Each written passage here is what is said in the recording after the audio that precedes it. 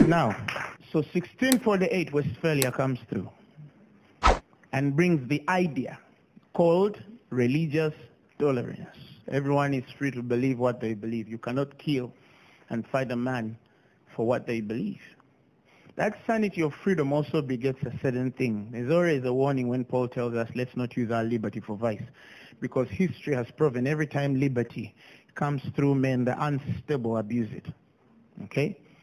And sometimes we ask ourselves, should we have a sort of tightening of things for the unstable uh, to keep in order and in line? But then again, we remember God has not called us to manage human souls. It's his business, it's his responsibility. The excesses will always be there, but our responsibility is to do what God has called us to do and consequently believe God to change what must be changed, to deal with whoever he has to deal with. And sometimes, many times when madness comes through, right? Some of you who read literature, there's a fellow who said when the madness of an entire nation disturbs a solitary mind, what happens? Not enough to say the man is mad. There's a madness that comes to certain individual. When the nation is mad, they start to also look like they are mad. But sometimes it's not them. Sometimes the, the general mass, the total, the bigger number of people can become so inclined. For example, if you are one individual who was living in Rome in that time, when there were indulgences, the venerations of Mary, the sacraments, and all these kinds of things, and then for you, you disagree, you'd look like the mad one right? But sometimes the majority are the mad ones, you know, sadly. Uh, and then sometimes, of course, we try to use human means to regulate, and that's what some governments are trying to do. But you will never regulate faith. You cannot regulate faith. You cannot put God in a box. You cannot put a God in a box in a glorious church. Hallelujah. Now, when that period happens, and there is religious tolerance, people are free to think. Because there's freedom to think. You will not attack me for what I believe. You see, then it was, it was either this or that. Now, there's freedom. Everyone has their faith, but we're not attacking each other. The societies and communities have tolerance. I have my opinion, you have yours. And interesting as it is, from 1648 into 1789, we have what they call the Enlightenment period, or the age of reason. That is when the idea of reason starts to come and crop through. It's the first time we start to hear it strongly, 1648 into the 1700s, 89. It's a very, very interesting uh, period of time. Um, what is the Enlightenment period? What is the age of reason? It begins when the block is drawn between secularism and the sacred life. And because of that, this is a time when the word secular and the understanding of secular is going to become more clearly apparent in a generation to separate it from what is called sacred. It is a time when men are starting to reason. Yes, you believe in this, but is it reasonable? Yes, you believe in the Trinity, but is it reasonable? Yes, you believe in the separation of water, but is it reasonable? Can you appeal to me and reason and explain that? And so, because we, because of that period, uh, faith starts to serve reason, and not the other way around. In the earlier time, reason was serving faith. In this dispensation, faith is serving reason. You understand what I'm saying? Faith is serving reason. That means it is subject to reason we can only believe what is reasonable. If something cannot fit in human reason, then it's not for us. It doesn't work for us. And then consequently, ideas start coining through how man is good and is not bad. They say that darkness in man is because of ignorance, and ignorance can be dealt with through enlightenment educate the man. They'll become better citizens. Give them an education about life, good manners, good morals. deal with their ethics, you'll have good people. So they thought.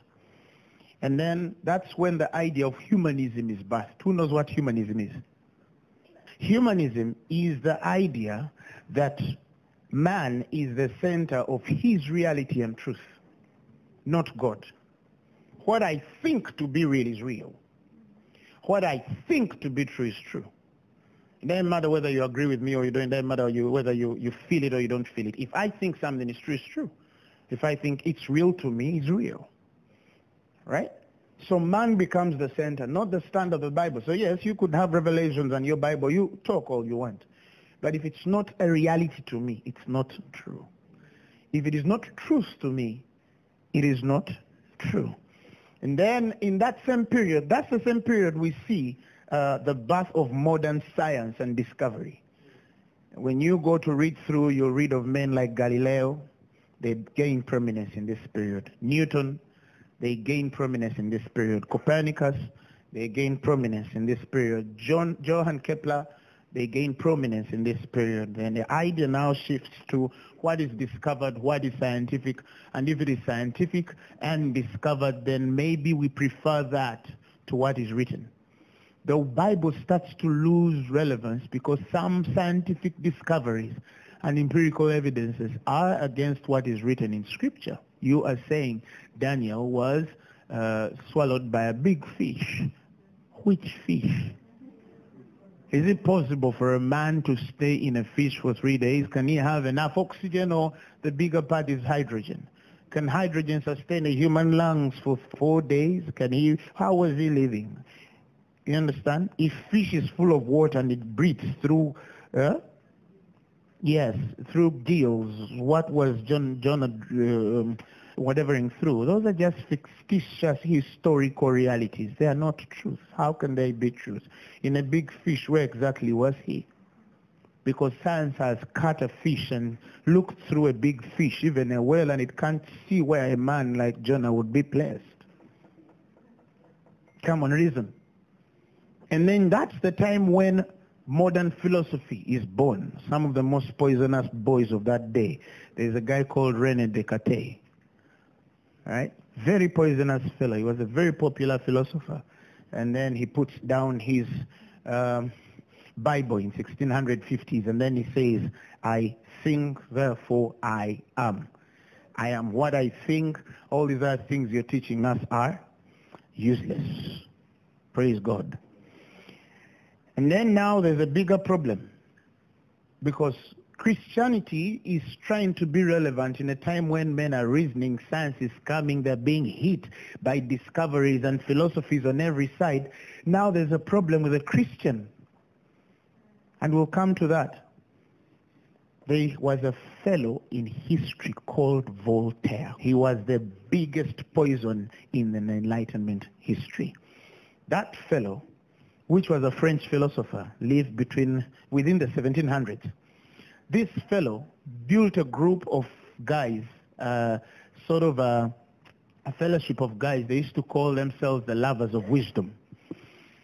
And Voltaire was not only opposed to the Christian faith, he hated Christian faith and he exalted philosophical thought way beyond the Christian Bible. Not only did he exalt it, he was aggressive. He spoke some of the most dangerous words a man could speak in the uh, late 1700s. One of the statements quoted, he says, the Bible is what fools have written, what imbeciles commend, what rogues teach, and young children are made to learn by heart. So he means to say, if, you, if it is written, whoever wrote it is a fool. Whoever commends it like me is an imbecile. And whoever teaches it is a rogue. And this is something they teach young children. It's through the age of enlightenment that you start to hear certain statements which have reverberated even into the 21st century, such as the Bible is opium. Christianity is opium for the poor.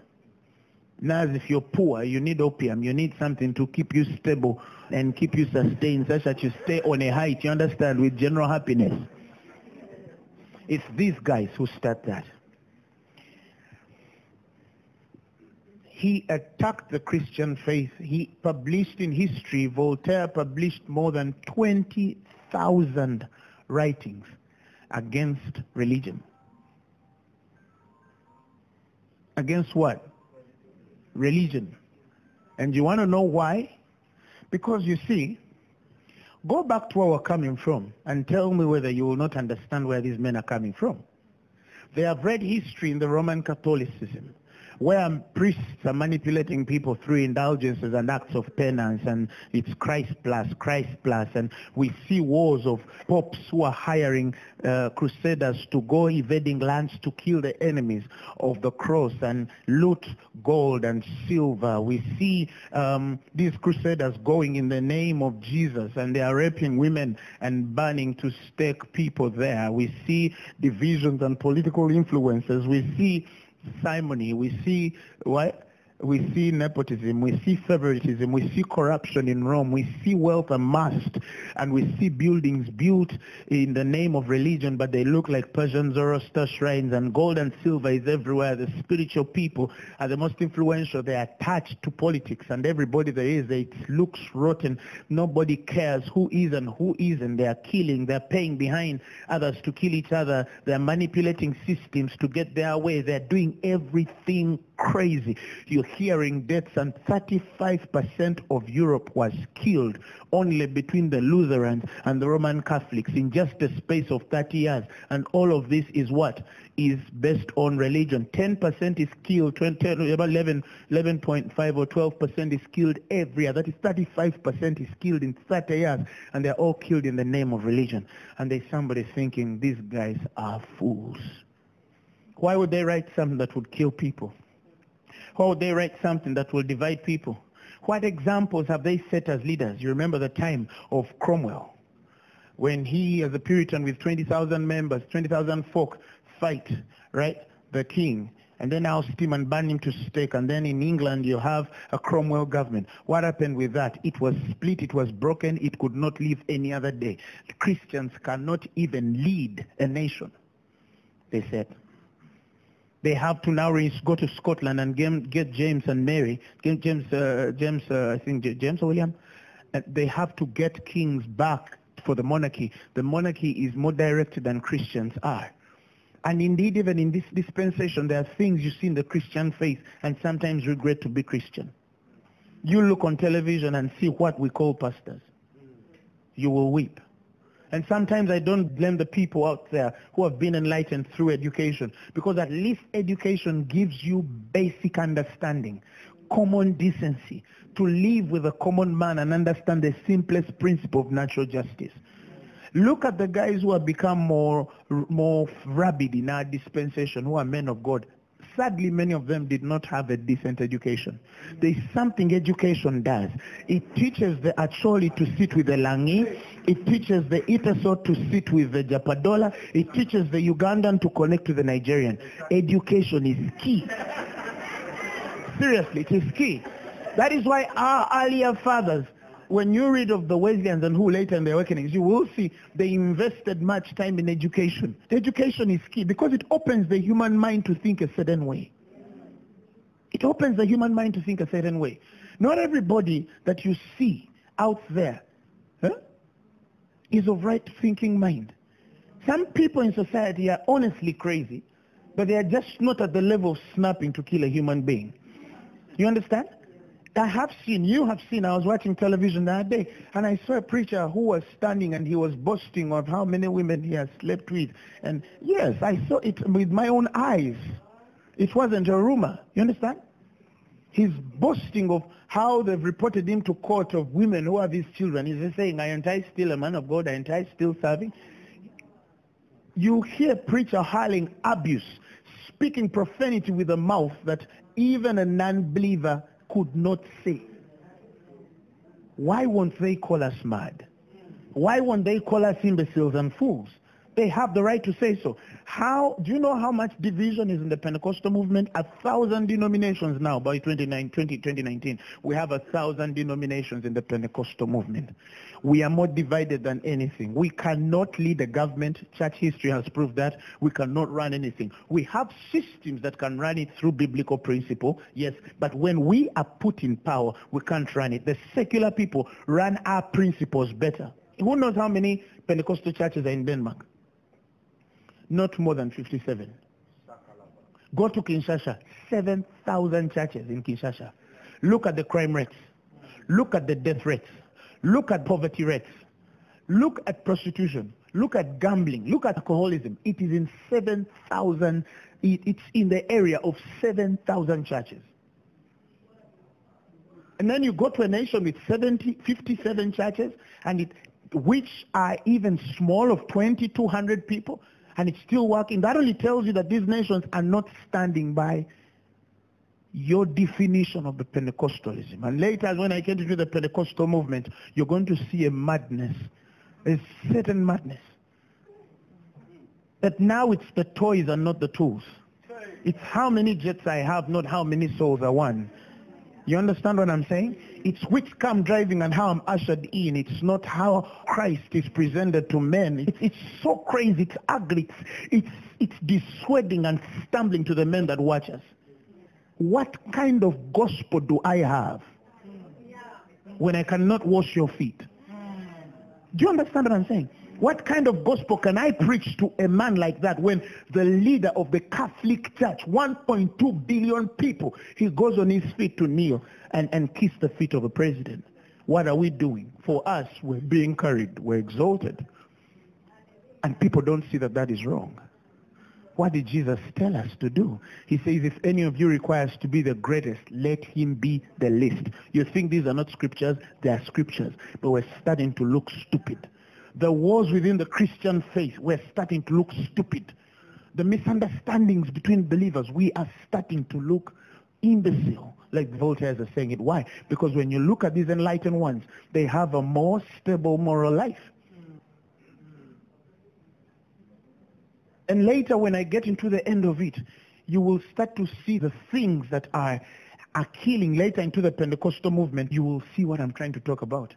Pentecostals can't even keep the simplest relationship given to man, marriage. We can't even keep our wives.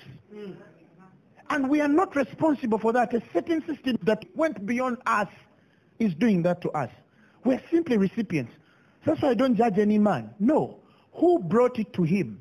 Who taught him to him that way? We are victims. We are victims. You understand? Families are dysfunctional. You cannot trust a Pentecostal to do business with.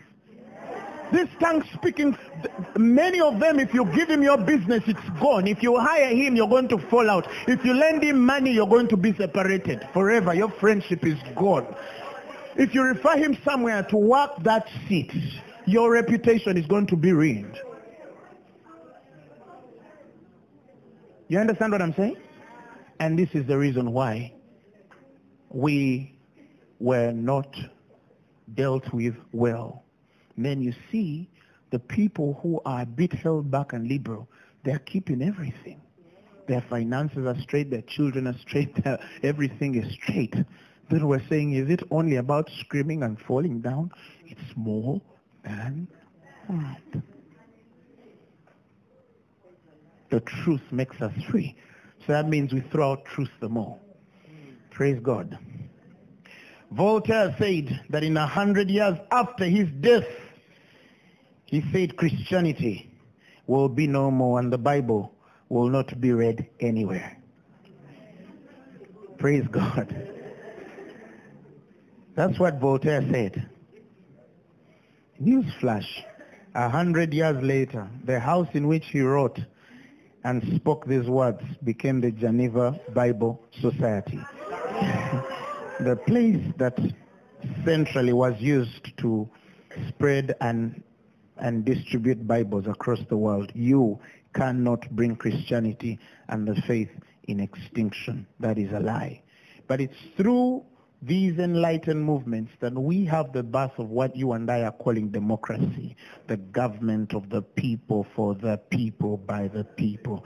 God is not a Democrat.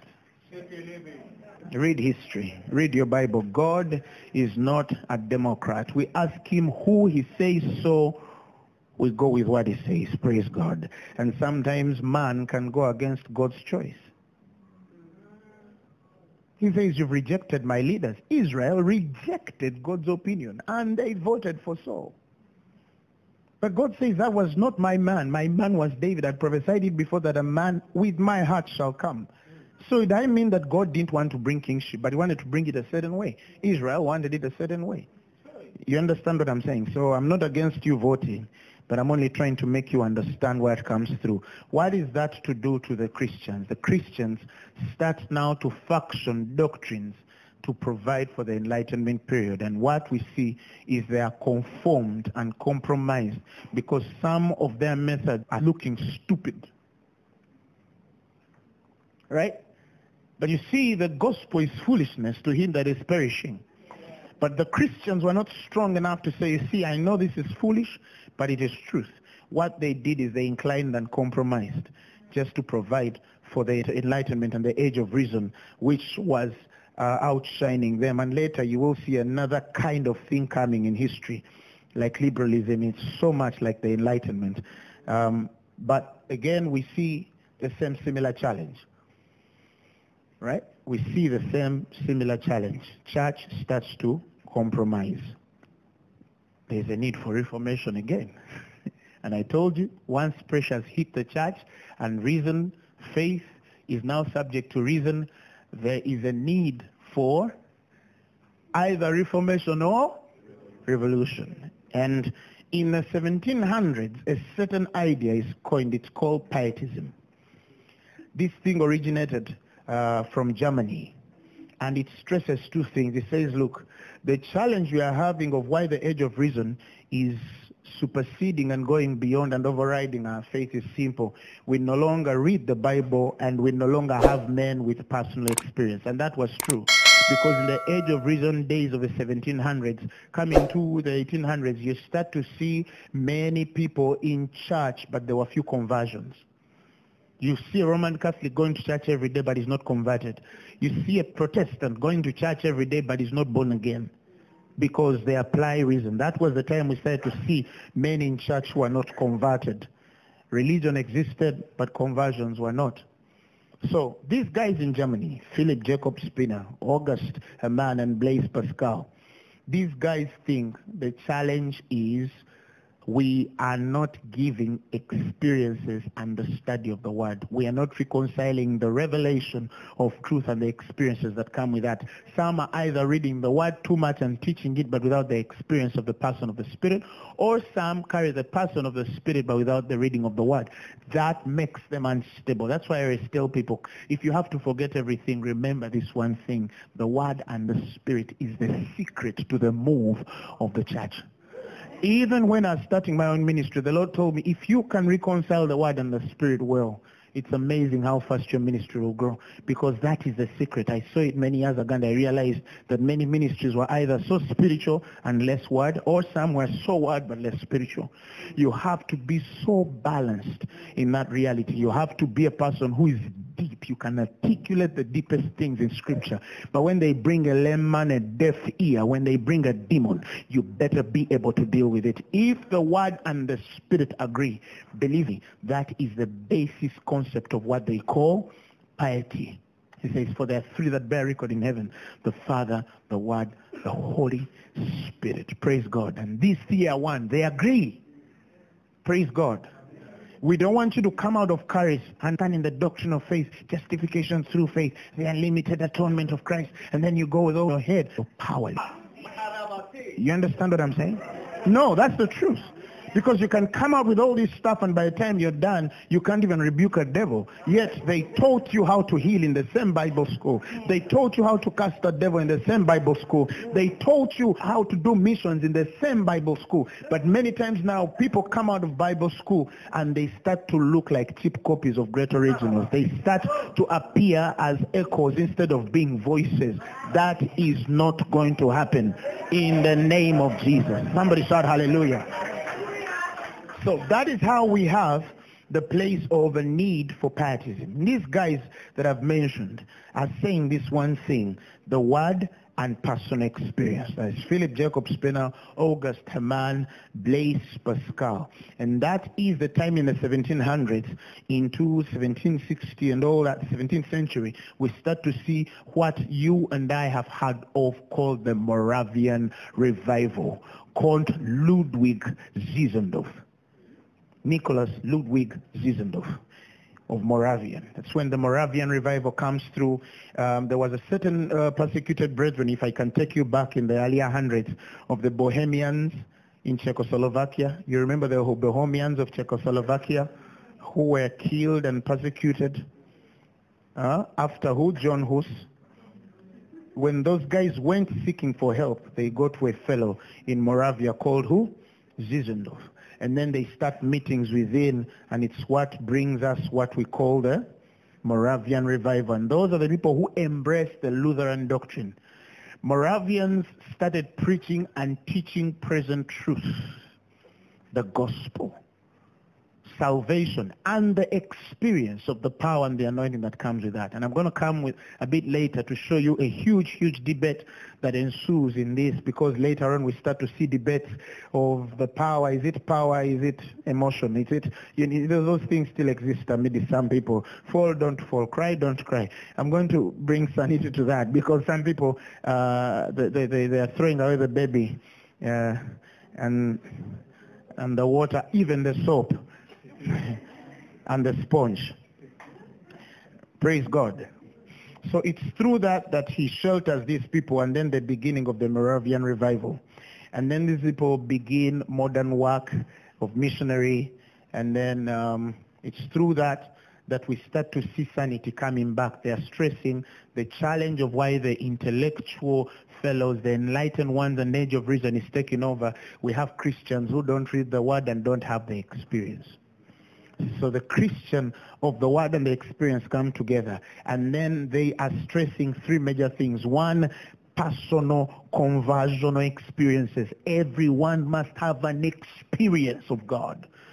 You shouldn't be uh, surviving under another man's embers. A man should not burn incense in the Holy of Holies and you smell it in the outer court and think that you're in the same place with the same man because you're equal before God, yet you're unequal in the yoking because the man is on another altar. He's seated in another place and he sees God from another angle. And it's one thing for you to enjoy the merry-go-by of the anointing when the presence comes and you're all filled, but you don't know the difference between the man emitting the incense and you who is smelling it. You learn to burn your own incense. Praise God. And then they emphasize the place of intimate fellowship within the body of Christ. Can we sit down and start having deliberate fellowships with each other? Can I sit with two, three, four down brothers and then we start sharing the word? That's why I tell Christians, if your friends are telling you about movies and Game of Thrones last season, those are not the people you need. Believe me. Your best friend should be somebody you should sit out of tea and not discuss who is pregnant, which man divorced the other, who is dating so and so. You need someone who you can sit down on the word with and start discussing who is Jesus, where is our generation going into? What are we to teach our children? How do we bring unity in the body of Christ? How do we pray for those that have fallen? How do, do you see this? How do you see that? If you don't have that kind of friendship, it dies. So he says, do not give up on the fellowship of the saints like some have and some have hit shipwreck. So they emphasize the place of fellowships, and that's where the ideas of what now you presently call cells began from. Little small groups of people meeting together to share experiences of what the Lord has done in their lives. I had a vision. Oh, I feel the Holy Ghost. You understand? He says, I had a vision of this, and I had a vision of that, and what do you see? And then they start sharing, oh, brother, you're losing it here. Let's pray about it. You understand? And then they also emphasized one fundamental thing they emphasized the place of spiritual discipline and accountability. Because today, we are not accountable. We are politically accountable. We are not really accountable. Oh, that's my spiritual father. That's my pastor. That's the man I look to. Do you really listen to him? Are you really accountable? Accountability firstly begins in our homes. Praise God. For me as a pastor, he tells me if I cannot run my home, how can I run the household of Jesus Christ? God help me. The, it begins with us being accountable firstly to those that are with us. The Bible says submitting yourselves to one another in the fear of God. Everything I'm doing is in the accountability and betterment of the other man. If I feel that this will stumble another, I have to work on myself to make sure that I don't destroy what the Lord has built through me. And that doesn't mean that we don't have weaknesses or that we've not slipped and fallen, but our hearts have not fallen with our flesh our spirits still understand what truth is and repentance, godly sorrow hits our hearts to say, you know what, God, I'm doing this, but it's not right. But when you're in a generation where the consciences are seared and men don't care anymore what they do to each other, whether I mess you up, whether I destroy you, whether I speak about you, whether you understand, we're not accountable to anybody. We're not accountable. And pastors, if you're a pastor, and some of you are going to become ministers, you tell me one ministry that is not fully accountable and it has been a success, they always hit shipwreck. History will tell you they always hit shipwreck. Hebrews 13, 17, no man watches over himself. Doesn't matter how deep word you have. Doesn't matter how much Holy Spirit you have. It doesn't matter how much anointing you have. There are things that will skip you, but another brother will see. We are each other's keeper. Yes we cannot continue being what?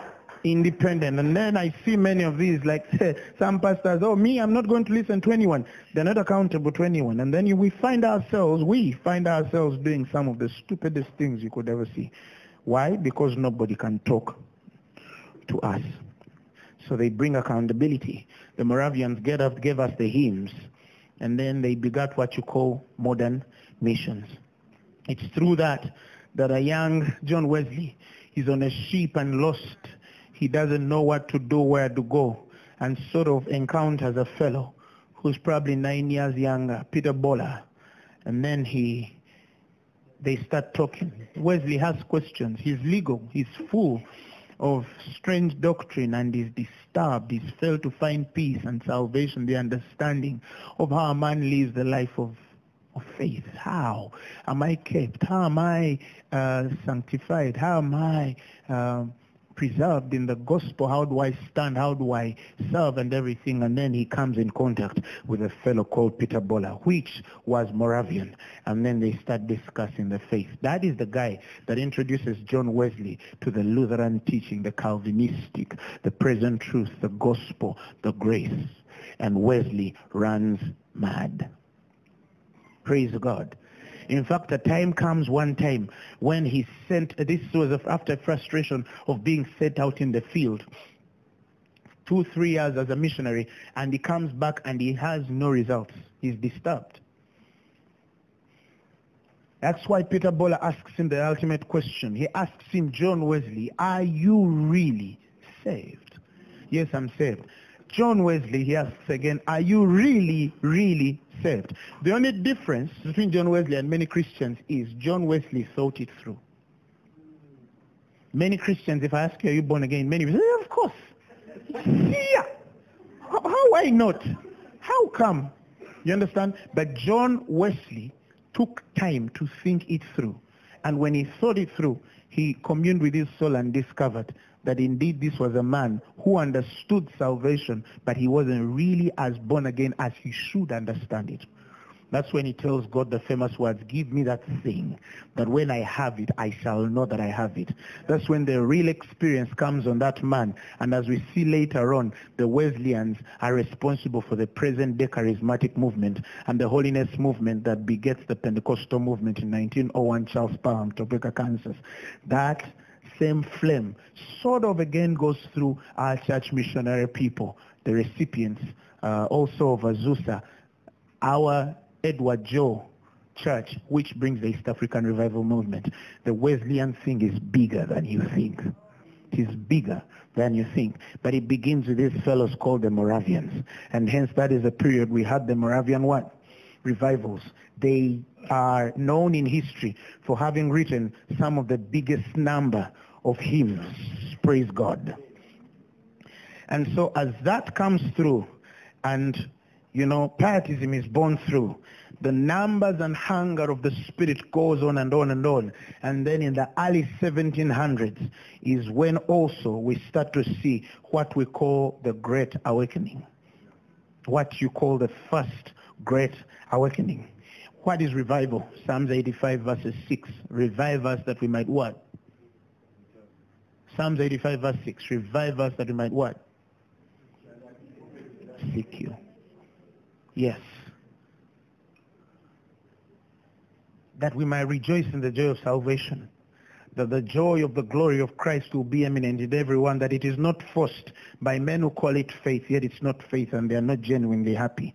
And who try to live on the, on the bio of if I continue confessing it, I'll have it. And they confess it and they never have it because they're not speaking from the affirmation of the Spirit. They are copying the lines of everyone is speaking because the generation has learned to speak right. Praise God. And so we see the birth of John Wesley, which was, of course, an England-born of Arminian doctrine. It's important for you to understand that. But he had a fellow with him who was George Whitefield, right?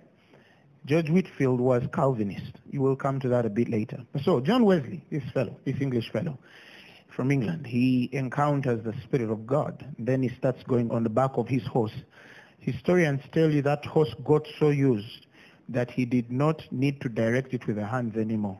He just used to tap his feet and the horse knew where they're being told because he needed enough time to read while he was going for journey. They say every day he traveled for more than 45 miles on horseback. And they say in his entire history of ministry, he traveled more than 250,000 miles on the horseback.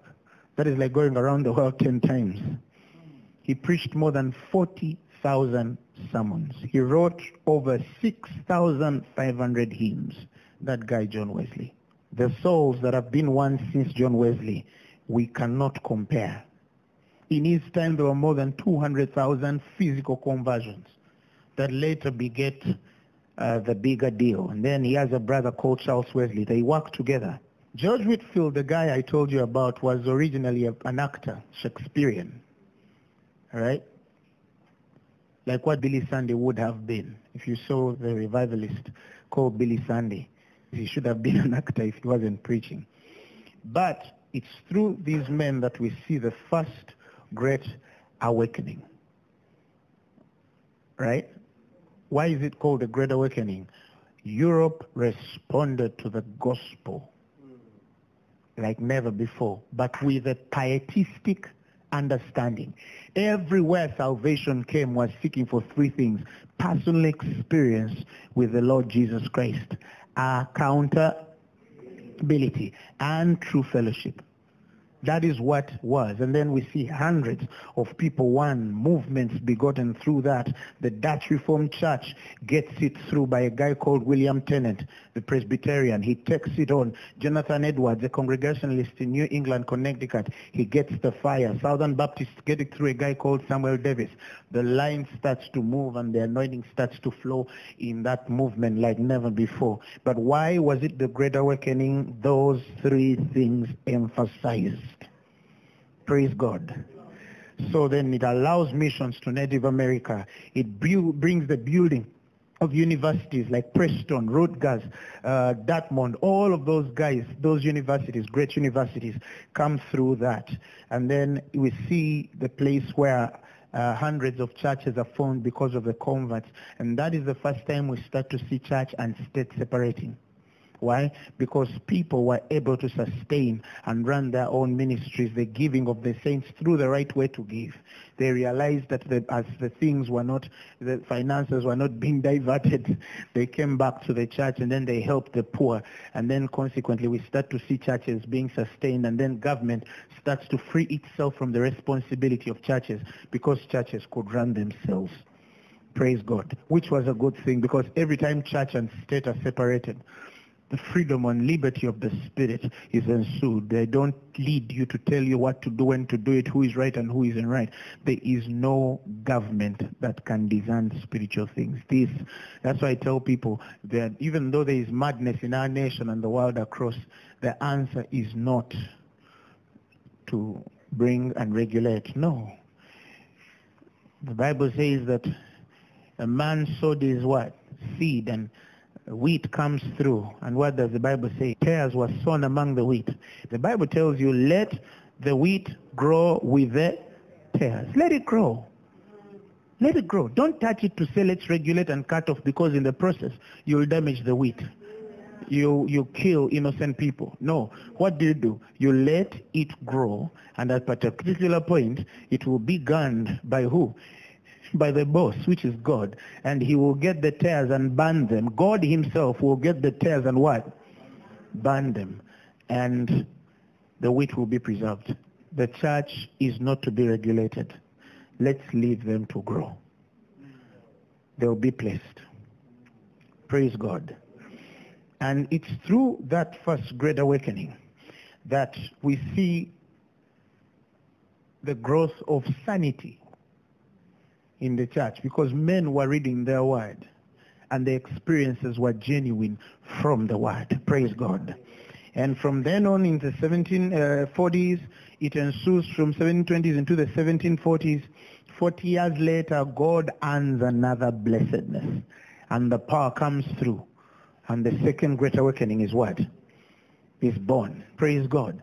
And it's through these Christian universities like Princeton, Yale, and then these guys are having more of the experience. There's a hunger of the things of God because they are seeing what God is doing. And I've seen when the church keeps a certain steady line of the word and the spirit, God just continues adding more oil. You start to see what you call in scripture from glory to glory. That's first great awakening, second great awakening was the true picture of what it means for a church to start walking in the steadiness of the Spirit. You start to see God adding onto the children a more dispensa- deeper dispensation. Every 40 or 50 years, you start to see God sending something fresh and deeper. And no doubt, the second great awakening was deeper and had deeper results and conversions than the first great awakening. But the first great awakening was more Calvinistic, even though the leader was Arminian. The second great awakening was more Arminian. Uh, you will understand that later because it's in the second great awakening that we start to see uh, these divisions starting to come through and clearly men separating Arminian from uh, Calvin. Praise God. So in the second great awakening, of course, we start to see um, in the East, there was a fellow called Timothy Dwight. Because again, I also need to show you the real war in America. You see, most of the parts in the earlier church, we were around Rome. Right? And then almost as we saw, we start to see ourselves around England. Now you see we are moving more to America. So you see how the spirit is moving. Eh?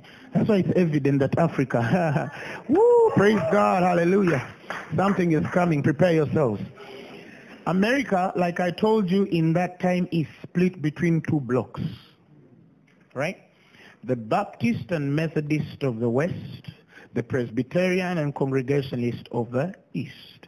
The Congregationalists and Presbyterian of the East embrace more of a Calvinistic doctrine.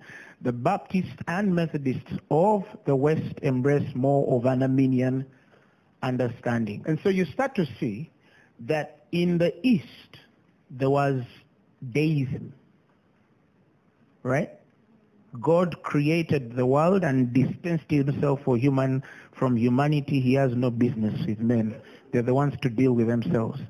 There was more of rationalism in that side of the world. So if revival was to come, many of the guys who were to come in that time, they were to attack that, right? Like if you come to the West, West was richer. West was was more prosperous. But then you also start to see a lot of greed and love for money. So if revival is to hit the West, those that are teaching in the West are attacking the greed of the day. So you see, they have to be different because of the challenges. They are not similar. So in the East, you see men like Timothy Dwight, right? Which was a grandson of Whitefield of the first Great Awakening. And then you see him fighting the days of the reasoning and rationalism of the day. There was an American fellow called Thomas Paine. He was the Voltaire of America. This guy hit Thomas Paine so badly. Thomas Paine also abused, he was abusive and aggressive, exactly like Voltaire. And his end also was also exactly like Voltaire. Thomas Paine died a broke guy. He was a drunkard and he, he died with nothing in his name. That was a lesson to those that were watching. For any man that sets himself against the gospel and the Bible, attack Apostle Grace, but don't touch revelation. Don't touch the word and their message. No, attack the person. But don't attack what comes out of my mouth because if it is of God, the end is always clear. Praise God. So in the West, we see the guys who are attacking the greedy groups and guys who have given themselves to money and not God. You see the group of the James McGready, which is Calvinist in nature. He's a Prestonian and Presbyterian guy. You see Daniel Boone. You see Barton Stone. Yeah, and then later on we start to see deeper names, some of the most prolific names in the Second Great Awakening, like Henry Ward and Henry Ward Beecher and Grandison Finney, Charles Grandison Finney, that Presbyterian minister. And you start to see the move of the Spirit becoming very distinctive. Right? But in that time also, America is split. Right? The West is Arminian, the East is, no, yes. The, the West is Arminian, the East is Calvinistic. Right? The West, which is Arminian is very, they call it, is enthusiastic. The emotional people. Right? The side of the Calvinists, they are unemotional guys. That's why now you start to see the split of, do you need to fall? Do you need to scream? Do you need to cry under the anointing? Those things, are they in scripture? Is it allowed? So if I scream, does that mean I don't have the Holy Spirit? If I don't scream, does that mean you have more spirit, you who scream than I who scream? So if a guy falls down, does that mean he's full of the Holy Spirit and me who stays up, I don't have the Holy Spirit? Does that mean that because the guy is up and then he has the Holy Spirit and then he's not shaking and the guy is shaking, the guy in the corner is shaking, that means the guy who's shaking is right than the guy who's not shaking? Does that mean that if you are speaking in tongues and then screaming and saying, and me I'm not, that means you're more spiritual? Or does that mean you're more spiritual? I think you're becoming strange. That's emotional. That's not right. That is Jacobus Arminius. You understand? But it begins in the central doctrine. Calvin says man has no free will. It's God's sovereignty, right?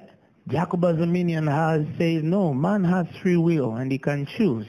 But Calvin says no, they cannot come to him except if he draws them. Jacobus Arminius is saying yes, even if he draws them, they have choice and there's something powerful there. That means they have the choice to choose whether it's heaven or it's hell. No, God says no. They are predestined. He knows who is elected for hell and who is elected for heaven. And then Jacobus Arminius says, but he would not say that he wills that all men be saved and may come to the knowledge. The debate now is no longer grace doctrine. No, it is what is the election? What is the atonement? Has God has a limited have a limited atonement?